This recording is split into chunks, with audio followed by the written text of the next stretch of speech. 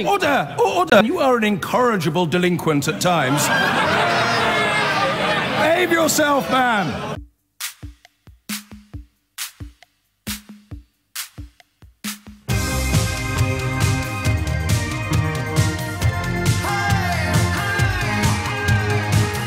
And that thin line between parody and reality is never thinner than when looking at some of the comments. I, I, I think this is serious. Just a little throwback to the conversation in the last hour.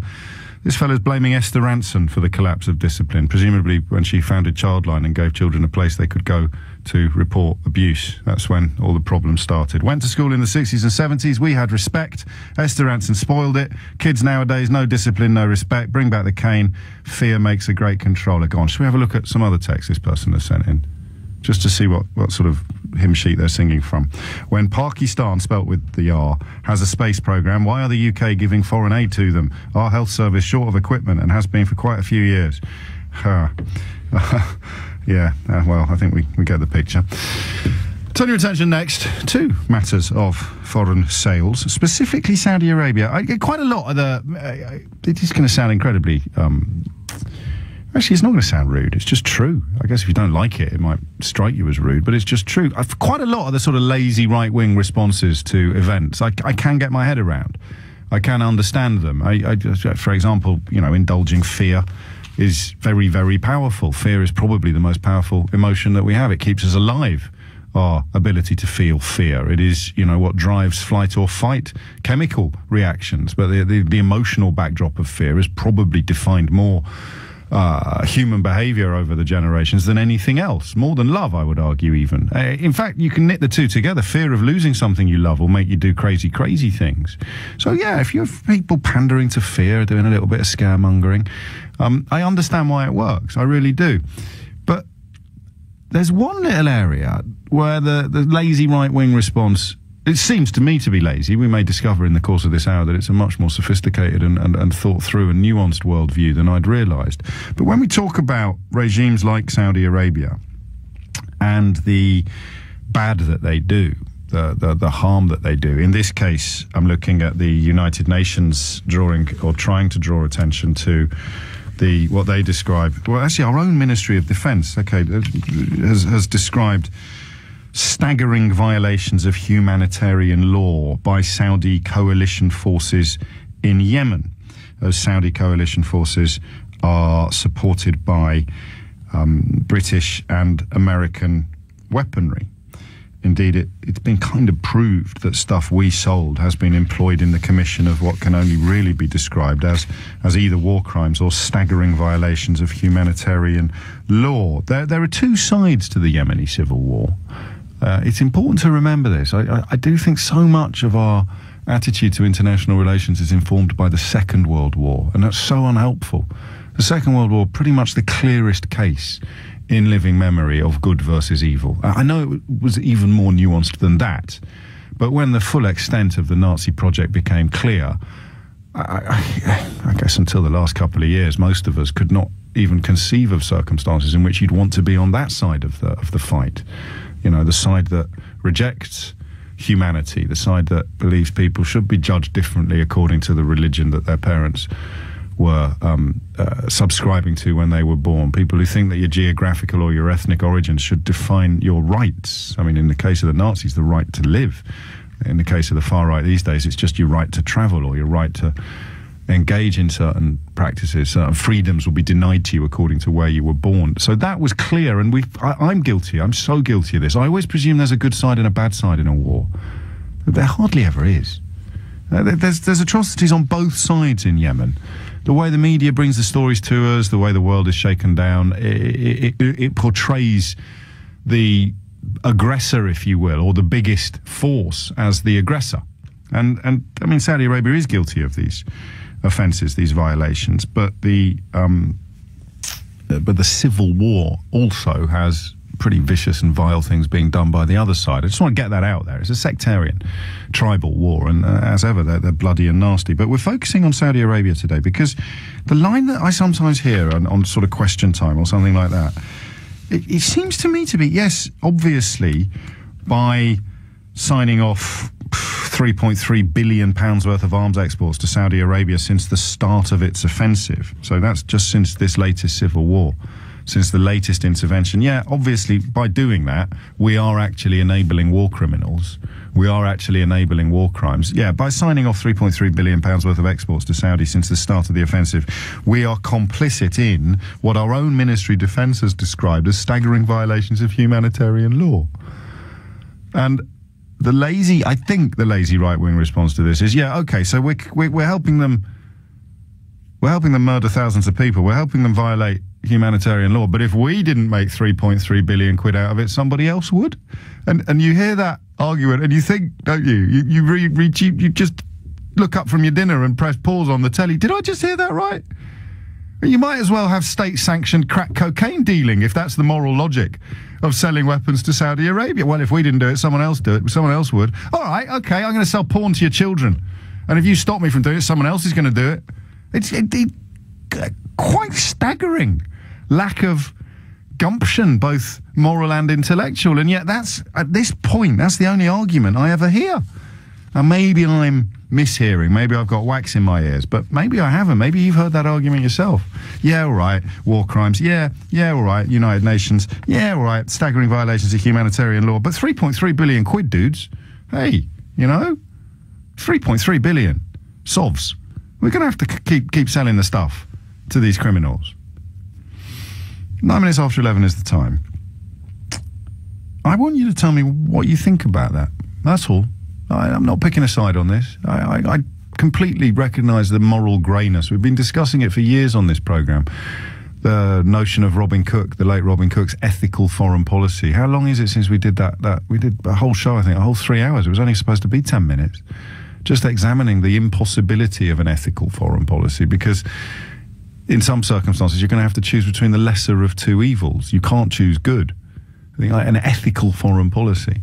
Why do we sell weapons to Saudi Arabia? Well, because if we didn't, somebody else would. Are you morally comfortable with that? 0345 6060973.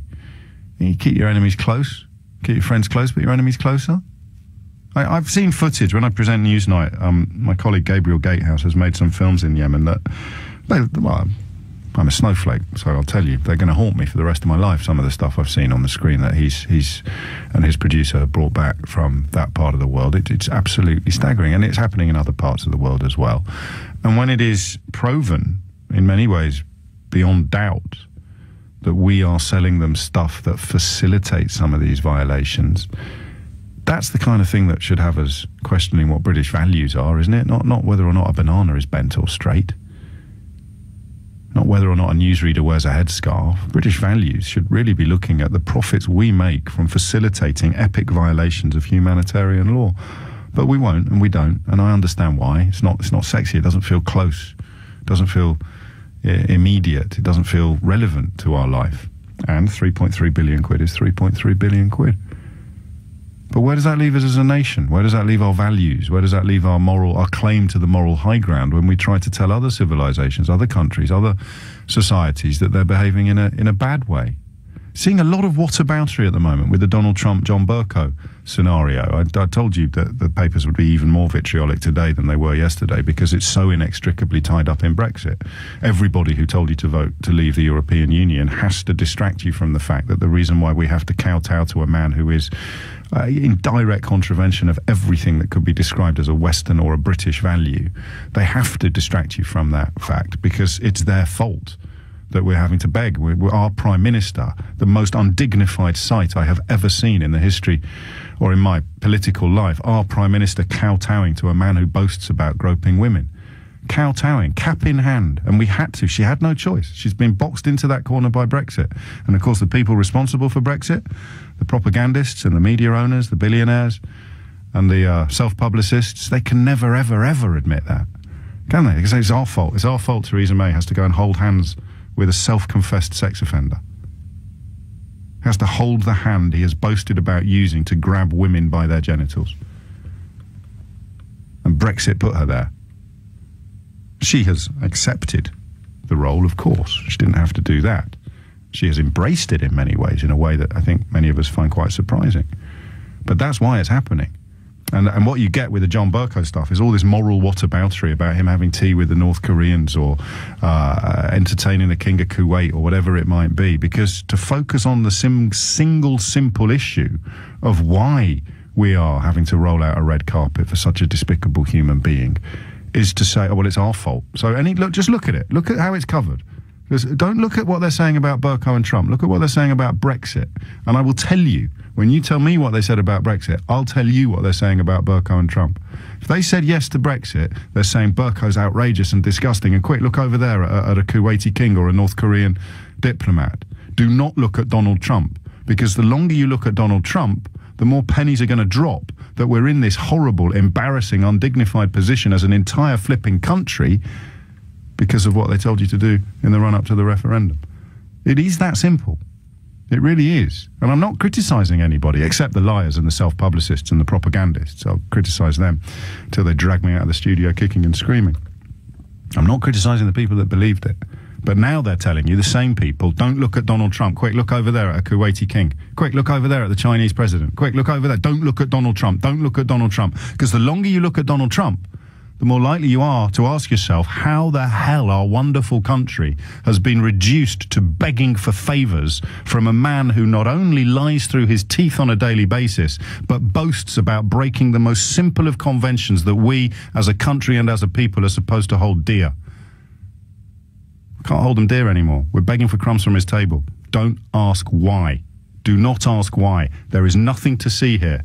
So, Daily Mail devotes pages today to slagging off John Bercow. Why? Well, what's the alternative? Acknowledging he may have had a point. And if he had a point, what happens next? Why are we doing this? Why is our Prime Minister, why is the most senior elected politician in this land reduced to holding a hand whose owner has boasted of using it to grab women by the vagina? Answer because she has to. I wasn't going to do any Trump today. Sorry. Let's get back to Saudi. And, and that, the, the, reason I mention all of that is because of the moral greyness that has engulfed us. It's always been there, but we've somewhat naively kidded ourselves that there was a moral high ground, there was an ethical foreign policy. So I know now exactly what question I want to ask you. What is wrong with selling weapons to Saudi Arabia? 03456060973. Because against that backdrop of commercial desperation that has led us into the clutches of Donald Trump, I would add that 3.3 billion quid is a real and significant amount of money.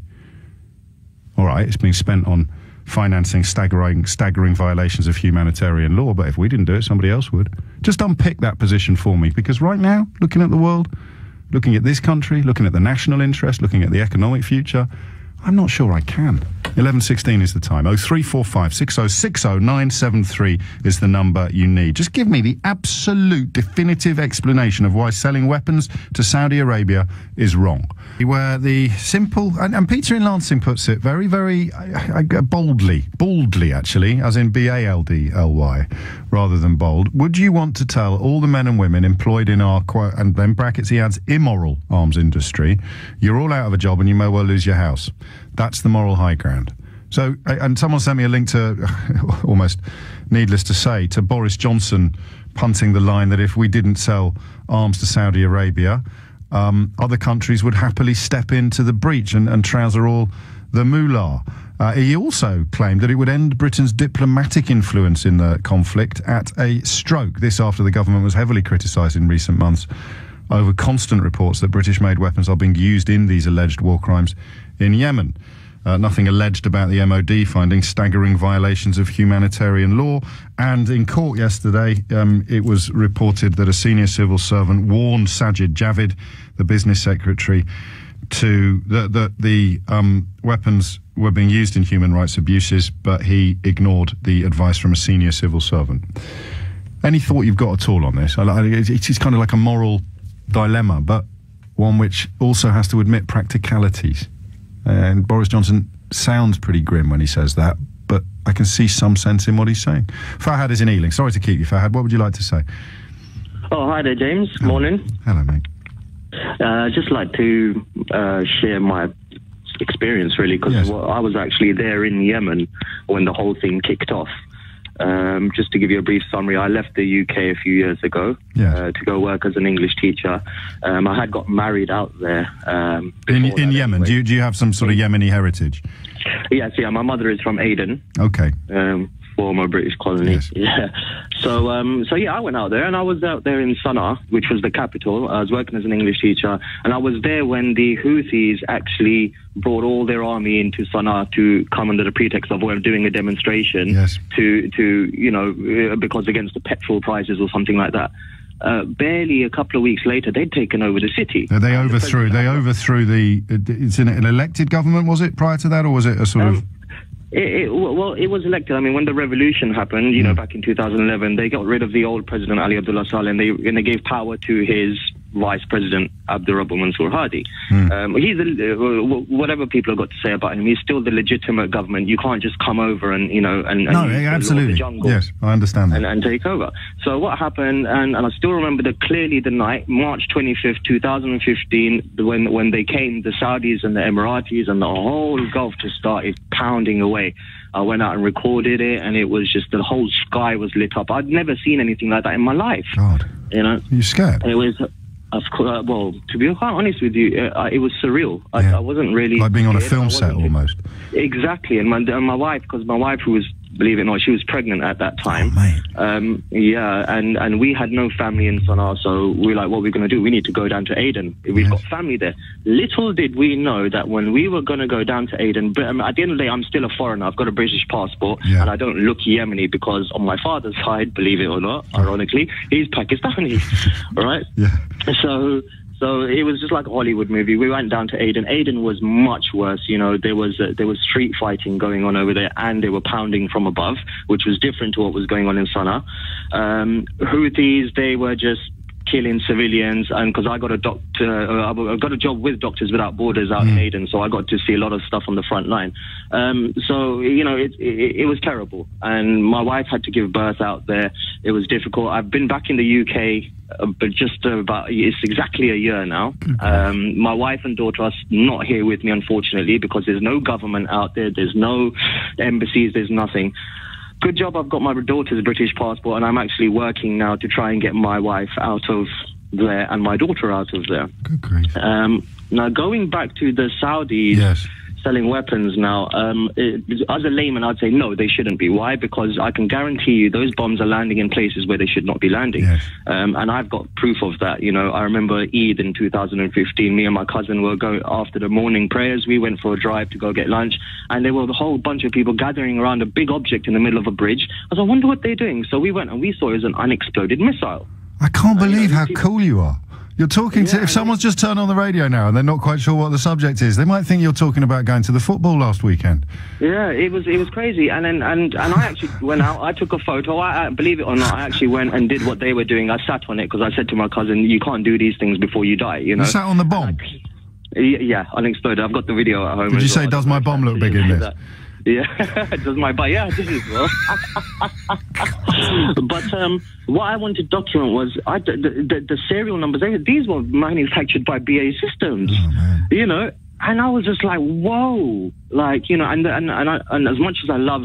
You know, I love my country, UK, Mm-hmm. everything, but I, I just feel they didn't do anything to help the British citizens at that time to get out. It's not either or. It's not either or. I, I mean, for you it is clearly, and I'm certainly not going to try and dissuade you from that position. But the the, the, the ability to exercise diplomatic influence is, is defined by the relationship with Saudi. Exactly. And and it, it, it may well be that they were doing more behind the scenes than you realise, but it certainly didn't feel like that to you. And I, I, I have it- only respect for that position. And then when I came back to the UK, I just thought to myself, well, hold on a second. The reality, a lot have changed here, and I was shocked with the whole 5p bag thing. You know, that was uh, that, So you just sat on an unexploded bomb in the middle of Yemen, and you come back here and you go, you get gets your goat that you have to pay five p for a plastic bag. I love you, mate. That- that- there you go. That's British values for you in a nutshell. Yeah, I, I couldn't believe it. And then, so so going, you know, and then it just to me, it was I'm just a layman looking. I don't know what budgets are. I don't, I Sure. don't know. So when I'm looking at making three billion pounds or whatever, this, that, this, that, and I'm seeing at home they're making cuts in the NHS and you mm. know social services, whatever it may be. I think to myself, well, there still is none of my business, but they're going out bombing in Syria, and these bombs cost a lot of money. To, to, to, so uh, to me, I'm just like, hold on a second. You're making cuts at home, but you're spending 250,000 pounds on a single missile to go bomb somewhere we don't need. No, they're flogging it to the Saudis. We're making a profit Yeah. on that bomb. They are. I mean, why, do, why, why don't we just make them yachts and cars and, you know, give them some transsexuals or whatever that they love, you know, that, that All right, steady on, mate. doing out there, you know? You know, why, why don't we just do that? Well, we don't. We don't. We're not. We, we don't. That bottom line, we don't. I mean, uh, and if we did uh, have, so I think Aston Martin is still British owned, isn't it? I, I, maybe a couple of others. I, Yeah, well, Rolls and we do, and we sell that as well. And Rolls Royce make the engines for the planes that drop the bombs, perhaps. But but it just in terms because you mentioned the Houthis a lot, and they've done some pretty vile things. They have, they have. I mean, but at the end of the day, you got to look at it like this. It's the lesser of two evils. Everybody's blaming Saudi Arabia. I blame them for a chunk of what's gone on over the last year and a half. Yes. However, you can't forget what started this. The Houthis had no right to come. Well, that, no, but this is my it. point. So, so we, know, we presume there's a moral black and white. There isn't here. Exactly. And in the grey area, in your own words, what's wrong with selling weapons to Saudi Arabia? Just got to be more regulation. Yeah. That's all it is. I mean, for example, look, I I'm just think of analogy here. For example, you got you got um, some meat shops in London saying we're selling halal meat, Yeah. you know, and you and you find out they're not selling halal meat, or whether it's a Jewish shop selling kosher meat, and you find out that meat is not kosher, and then you go to the slaughterhouse, the people are in charge and giving you certificates, and you see that no, they're not. You know, it, it- it's something similar like that. You're selling them whatever weapons, have some sort of regulation, see what they're doing. And that leads us. That leads us. And and Harry. No, that leads us absolutely towards the towards the the, the, the, the court case that's being heard at the moment. Um, I mean, it really does. It's it's quite remarkable that you put it like that because Sajid Javid effectively said, yes, there is. Uh, there was uncertainty and gaps in the knowledge available, but we're going to press on with the weapons licenses anyway. Problem is, of course, that if you brought in these checks and balances and insisted that Saudi Arabia prove that they aren't using these weapons in the commission of alleged war crimes, Saudi Arabia probably would just turn around and say, "Nah, we'll buy them off someone who's who's, who's not going to check. You know, we'll buy them off." We'll buy them off Boycie down at the down at the Nag's Head. He can sort us out.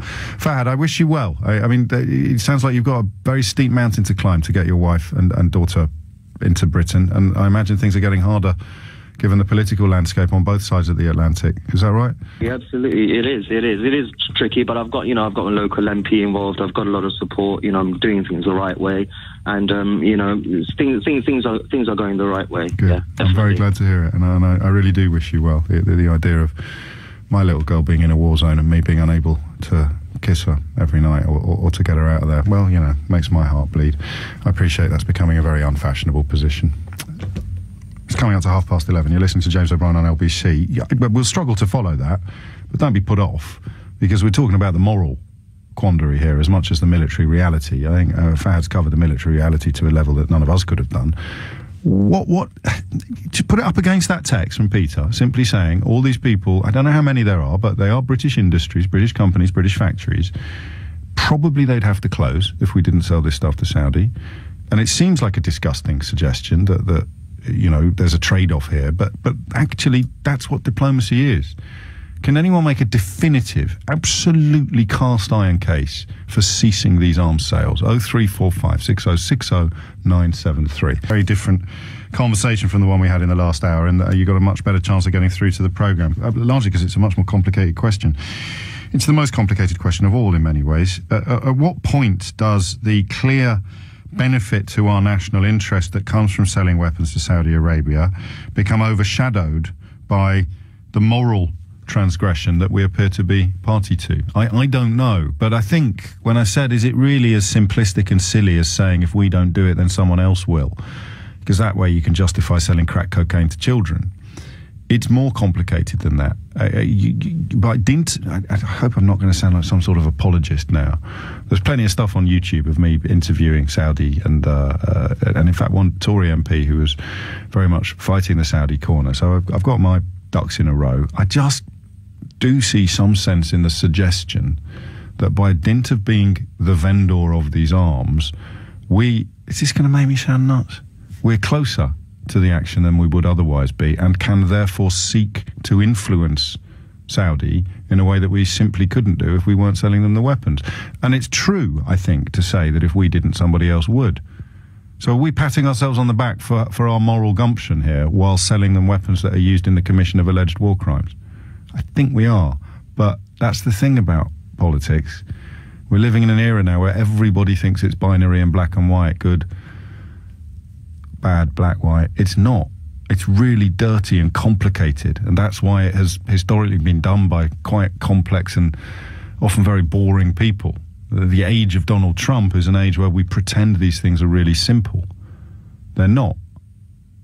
And the more complicated they are, the more I can see sense in the suggestion that, well, it's not just the money, it's the proximity, the influence. Would Saudi Arabia be even worse if we weren't in the back seat?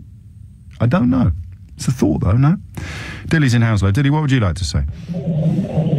Well, hi there. I'd just like to say that, uh, first of all, make no mistake about it, that Saudi Arabia has got some serious human rights issues. but if you look at the same, same, if you look at the other side of, of the coin, is the influence of Iran in the region. We have seen that for decades in uh, with Hezbollah. Uh, we've seen, seen that in Bahrain, destabil- destabilizing the region, and now it's in Yemen, which they're arming. It's a proxy war, are you suggesting? It's a proxy war between Iran and Saudi Arabia, with Iran arming the Houthis and, and yeah. Yes, absolutely. And I think the way that if you look back in history in the, in the region, I think Iran has been playing dirty games all, all along with the, the help of Hezbollah and you know all those. What, what, what, what, what's your? I need to know your background, if you don't mind. I need to know whether you have a dog in this race. I don't have a dog in this race. Uh, I'm I'm born and brought up in Dubai, but my actual background is from Pakistan. Okay. And I've seen the region grow. Uh, I've seen a lot of things happen good as well. Yes. I've changed a, a lot, especially in, in Dubai. And you know that's one region. There has been massive improvements yeah, well, I, I mean these these things are all relative. I still I still wouldn't want to be a, a, a, a foreign building worker there.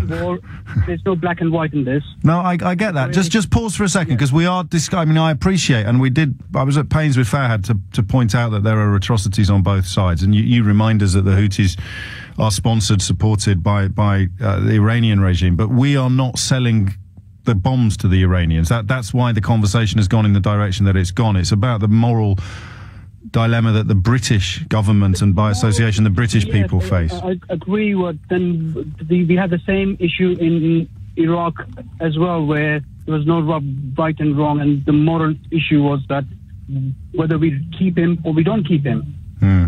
Saddam Hussein, and that that was a decision taken by the British government to remove him. And you know, it, again, it's it's a region where there's no such thing as black and white again, in Yemen, there are some serious human rights.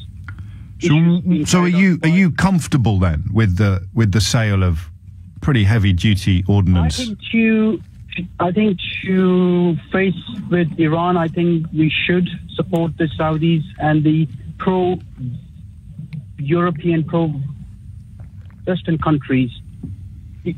Saudi Arabia has never stood up and said that we're going to wipe Iran out of the surface of the earth Iran has.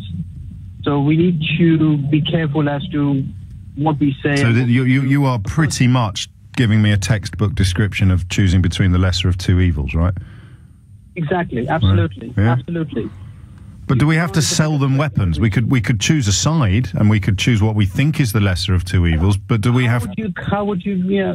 But how would you? How would you tackle uh, the the rebel terrorist organizations in Yemen because they get they're getting all the arms and all the cash fundings from Iran, and they're creating absolutely big problems in the region.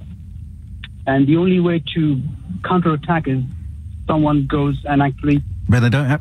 excuse me. They don't have to counterattack with with stuff that's got you know Union Jack kite mark printed on the back of it. I'll just read you a quick line, if I may.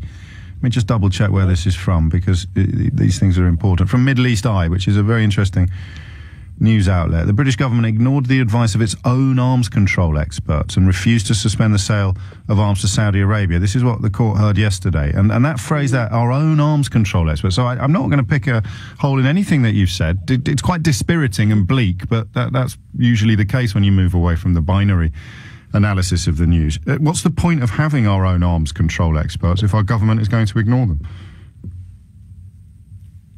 Well, again, I don't have the facts. I don't. Well, you do now. That's what happened. I- I've not Senior civil servant at the Department of Business, Innovation and Skills warned against continued exports a year ago. again, I don't have the facts in front of me. I can only say what I see on TV, what I see on news, and what I little read on in the newspaper that, and what I have seen myself over the years, the influence of Iran in the region and how destabil, destabil, destabilizing is that in the region. And I think there is to counter to put Iran on the back seat.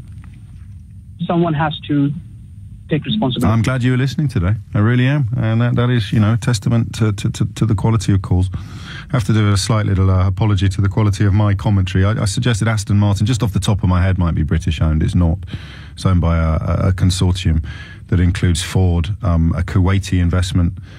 Uh, fund and an Italian investment fund. I was just talking about uh, British British manufacturers. In fact, Dilly, thank you. What's the time? Eleven forty-two. Um, now I'll talk to Sarah first, and then I'll just run you through the uh, top ten quotes British end quotes car companies, and we'll work out whether any of them are actually British. And this is relevant, of course, to any trade deals that we may strike up with our new friend in the White House.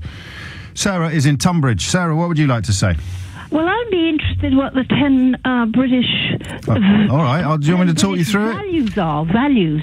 Oh, We're values. going on our British, our British values. And, yes. You know, well, I, well, you say we are. Usually, it's sort of demagogues, rabble rousers, and attention-seeking sort of freaks that do that. Most of us know what it Well, means. I mean, I've heard, I've heard. Well, perhaps that's what Cameron was. Yes, I Mm. mean, he he stood up in, in Parliament saying that all these people. Um, I, I'm I'm much more simplistic than your other folk who Yes. can see see both sides. I believe if you, just like in America, if you have guns, people will get shot. Um, and more people get shot in a week there than they do in this country in probably five years. And so it goes on. We sell arms because they make money. I find it absolutely disgusting that our one of our main industries is the arms industry. And when people like um, uh, Boris Johnson say, "Well, if we didn't, somebody else would," Yeah. I could scream. Why? Well, It's true. Why don't we? In which case, if if the argument always is, if we didn't, somebody else will.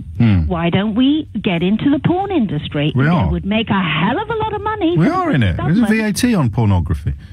And you know, we could regulate. Hey, don't just gloss over my zinger. Sarah. I'm just glossing over my zinger. Legal pornography, we do make money out of. Uh, What we make money out of illegal. No, legal, the stuff that's legal. You don't make money out of the illegal stuff. Uh, No, no. What I'm talking about let's let's let's just Hey, have steady. government buy in, into the, uh, as same with street drugs.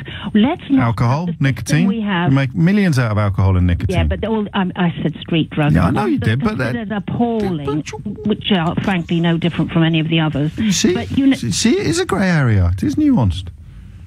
why? Well, because the government does make a lot of money out of doing things that harm us already. Well, of course they, of course they do. But I, I'm, I, my argument is I don't think it's a very good idea when there are things that are going to kill people, or you know, use people as sex machines or whatever else. I think it's absolutely Sex- appalling. Uh, Well, I, I, and I do as well at first glance, but at second glance, what's the alternative? We pull the plug, we Well, lose. we're not. We're not. We're- then we're not the civilized. No, people hang on. I didn't. I, I, hang on, hang on, hang on, hang on, hang on. We pull the plug, and setting aside the commercial impact of that, which I'm happy to do because I think it would be very difficult to argue with you on the straight moral versus material battle. I mean, we, why are we doing something so horribly immoral? Oh, we're doing it for money, James. Yeah, yeah, okay, I'll give you that one. But by dint of being the supplier, we are closer to the country of Saudi Arabia than we would otherwise be. And, and it's a question then, Sarah, it's a very personal question of whether or not you believe a politician, any politician, whether it's Robin Cook right through the moral gamut over to Boris Johnson, when, Yeah. when they say, well, this actually, it's not ideal, but it does give us a chance to actually influence events in the region in a way that we would not be able to do if we weren't selling them great big bombs. But why do we want to influence them? Um, as Because there's a civil war and we'd like it to stop. Said said something about um, we we meaning us in the West Yes. should sort out Iran. I thought. Why? It, it, you know, why are we so superior? We white folk in the in the in the West, Mm. going to sort out everybody else. I'm sick of us being the the supposedly good guys when we have done appalling things ourselves all over the world for centuries. And you know, it wasn't really that long ago. I'm coming up for 72. I lived in America when I was 10. Mm. There was still segregation even in Washington D.C. Yeah, I lived in Virginia where you had what you know uh, fountains for white people. Where the idea that that was the brilliant democracy when half the you could not get married to a black person in in the South up to 1965. I mean, this is the country that we admire. They had prohibition. They had McCarthyism. They they invaded um, Vietnam. They did Agent Orange, and they're our best friends. I mean, that's, that's no way to talk about the new president. Sorry, That's no way to talk about the new president. and it's just gone on and on and I, on. well, I, and, and so have you, in a good way. I don't mean that as a criticism. I'm late for the travel news. That's all. And and I think you've crystallised something I've been puzzling over as well, which is why I'm so cross with the British political establishment's response to Donald Trump, and it's because of everything Sarah's just described. America has always had this bubbling under the surface. It's always had the capability to turn the clock back to the days where you can't marry someone according to your skin colour. We've always been better than that. Always. Always, always, always. Until Brexit forced our Prime Minister to prostrate herself at the feet of a man who represents all of the appalling practices that Sarah just described. Let's just do this quickly, then we'll cross to Ali and Walthamstow, because a lot of people have been talking about trade and deals we can do. And there's that great text yesterday, I don't know if you heard it, pointing out that the approximate difference, I'm going to get the number wrong, so fill in the gaps yourself. The approximate difference in distance between Munich, which is roughly the geographical centre of the European Union or the European continent, you- you're looking at about 2,000, over 2,500 extra miles of transport for, for, for a new market in, for example, America. And one of the things that, that people have told me, um, usually in rather frenzied tweets, is that we can sell them our cars. Okay, which cars? Because I thought Aston Martin was British. Nope, that's uh, American, Kuwaiti, and Italian owned. Bentley? Bentley? It's owned by Volkswagen, which is, of course, German. Jaguar? Yep, that's Indian. Uh, Lotus, come on, Lotus. I drive past the lo- lo- no Malaysian. MG, I like MGs. Do you remember when they did the MG badge on the metro? I loved those little cars. Anyway, that's Chinese. The Mini, of course, BMW, Germany. Um, we've got one in at number eight, Morgan. Okay, the only remaining family-owned, independent, innovative British motor manufacturer, and it produces several hundred cars each year. That's that's the only one. Rolls Royce, German, Vauxhall. I didn't even know Vauxhall was ever British, but it was it was bought by General Motors, an American company, back in 1925. And what was very good for us and for British manufacturing is when General Motors in the late 2000s gave a massive boost to the Vauxhall brand by moving the production of the Astra to the UK. Thank God America hasn't got a president now who's boasting about the fact that he's going to insist that American companies keep all their manufacturing in America, because that would be really awkward. Ali's in Walthamstow. Speaking of awkward, Ali, take me back to Saudi. Hello, James. Hello, um, first time caller to your show. Very welcome. Um, right, James, you know this argument about um, if we don't do anything, uh, uh, if we don't support somebody against Iran, Iran's going to spread its, spread its tentacles and all that business. Well, the thing is, we've been supporting uh, Saudi Arabia since the Saudi royal family came to power, I think in the early 1900s. And right or wrong, we've, whatever they've done right, whatever they've done wrong, we've always been backing them, and so has the US. Now, what happens? Um, we support them, they get brave, and then what happens? They spread their filth right to other countries. My family is from Pakistan. My my parents emigrated to UK from Pakistan, and Saudi Arabia and Iran. They've been carrying on. They've been uh, having a proxy war in Pakistan since for for long, long time. They've been doing it in Syria as well. They've been. what are they? doing it in For, Yemen. forgive my ignorance. What what are they fighting over? So if you have Ira- Iranian-backed, who, who who does Iran back in the in the Pakistani theatre? Um, sh- sort of militant Shia groups. Okay, And Saudi Arabia backs. militant Wahhabi groups who use the term as Sunnis. So they're, they're portrayed to the world as this is a civil war between Sunnis and Shias, but it's not a civil war between Sunnis and Shias. It's a civil war between fundamentalist Shias and fundamentalist Wahhabis. And I don't like using the term Sunnis for these Okay. guys because they've hijacked the label. And what it is, it's an intra sort of sectarian conflict, um, and the innocents get uh, slaughtered in, uh, on both sides. Same things happen in Syria. Same things happen in Yemen. So no, we shouldn't be selling. We shouldn't be selling um, weapons to these guys because the, everybody can see it, apart from the people in power, the people in um, big business. Everyone can see exactly what Saudi Arabia is doing and exactly what Iran is doing. They're both as bad as each other. Yeah, but but what happens if we pull out then? Because Iran is is, is mostly going to be Kremlin backed, right? If if their their superpower support comes from Russia Uh-huh. and Saudi Arabia's comes from Britain and America, Um, so you you pull out the superpower support, and, and sadly we're not a superpower. We've only got Morgan. Yeah, but we're not, James. We're not doing it to make the. Do you think we're doing it to, to stop Iran, or we're doing it to make a quick buck? We're doing it to make a quick buck, and then, then we can use that same. I, I love the I love the way you're, you're, you I mean uh, you've got me over a over a barrel, mate. Because I, I mean I, I, I know my naivety is just spectacular on this issue, isn't it? It's just this idea that when Boris Johnson says it means we can exercise diplomatic influence in the area, and I'm saying maybe that's true, and you're laughing at me. Rubbish, rubbish. what it is, James, if we pull out of selling weapons to Saudi Arabia, we can use their argument and say, well, we ain't going to sell to the Saudis, we can go and sell it to someone else. You know, we can go and sell it to the North Koreans or, or anyone else, you know. It's not it's not about, you know, stabilizing the region. If you wanted to stabilize the region, you don't pour petrol on on a on an inferno that's already, you know, burning to put the flames out. You don't you've got to use diplomatic means. You've got to, you know, everyone's got to pull together. The only people that are benefiting out of this is big businesses, uh, the arms dealer, uh, dealers, I mean, and the fundamentalists. The fundamentalists, get, they get weapons. And you know what?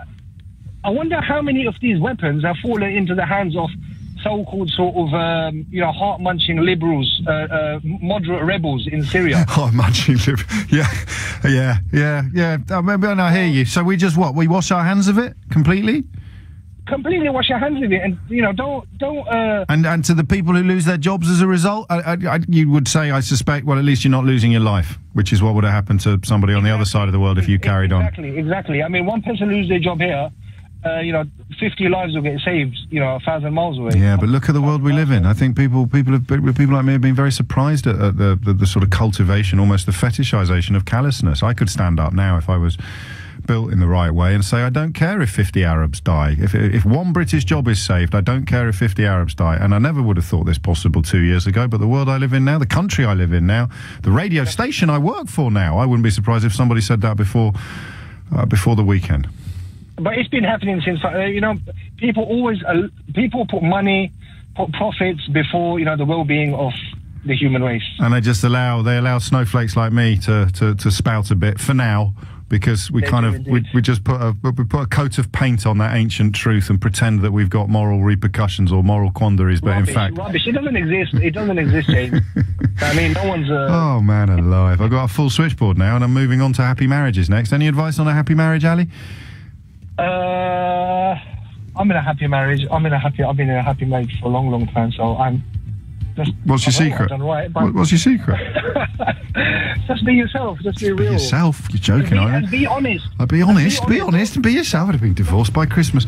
Uh, the conversation we're going to have, PMQ's on the way, of course, at 12.45. Ali, you'd look after yourself. My apologies to everybody waiting, to Ashley and to Ahmed and to David and to Jason and to Adam and to Ronnie, Atik and others. We, we've returned to that, actually. It was a slow start to that, but uh, as is often the way with the complicated questions, the brilliant calls inspired everybody else's little grey cells to start whirring.